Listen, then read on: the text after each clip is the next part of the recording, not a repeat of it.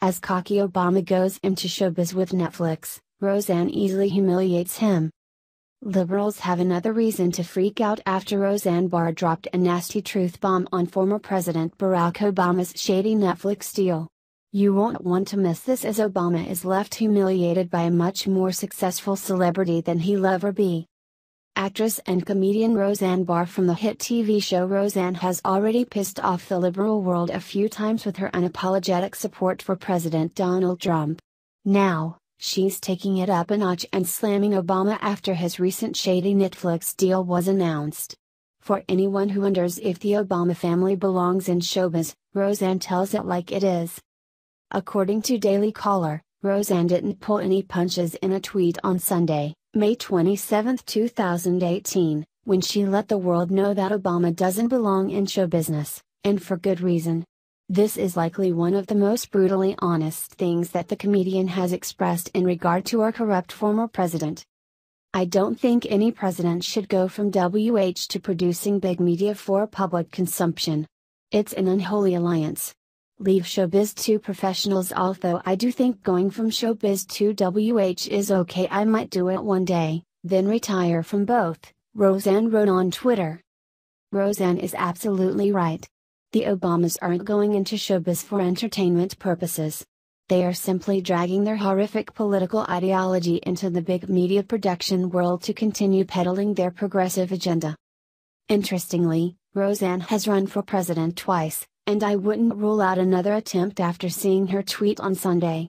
Unlike many others in her industry, Roseanne isn't afraid of the mainstream media and would likely have a very popular campaign message if she ran again. The actress' brutal and honest tweet comes on the heels of a recent announcement from Netflix that it is going to partner with the Obamas to create original content for the streaming service. The deal was reportedly brokered by a former Obama presidential campaign fundraisers who also worked in his administration. According to Breitbart, Ted Sarandos and his wife gathered up nearly $600,000 from various liberals and sent the large contribution to Obama during his presidential campaign. Sarandos is reportedly the man who is responsible for securing a $50 million deal with Netflix. Not surprisingly, Sarandos served as the U.S. ambassador to the Bahamas between 2009 and 2011 for the Obama administration. This whole thing reeks of Obama style corruption, and Roseanne was right to call him out on it. Unholy alliance is the perfect way to describe the deal, but in the end, I have no doubt that a free market will snuff out the attempt by Obama and Netflix to create content that fuels the liberal agenda. The reality here is that many Americans realize how much damage Obama did to our country, and with the emergence of Spygate involving Obama's FBI, things are likely to get very interesting in the near future for the former president.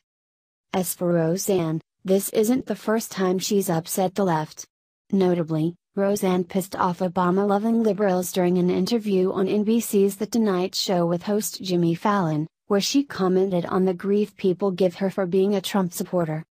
Speaking about her success with the relaunch of the show Roseanne, Fallon took the opportunity to address the elephant in the room, but, then, also with a big hit come people that aren't so happy as well, if you say that you are a supporter of Donald Trump, Fallon said. Roseanne caught Fallon off guard with her answer as she acknowledged, oh, yeah, people are mad about that. But, she had a brutal response that consisted of five harsh words for Trump haters. But, you know, I don't give a FCK, Roseanne exclaimed with a shrug, according to Daily Caller. And, the look on her face probably left Jimmy Fallon peeing his pants. Few Hollywood personalities have tread on the political ground that Roseanne considers her usual domain. Her unapologetic approach is a breath of fresh air considering the toxic filth and progressive craziness that has crippled much of what used to be the entertainment industry. industry.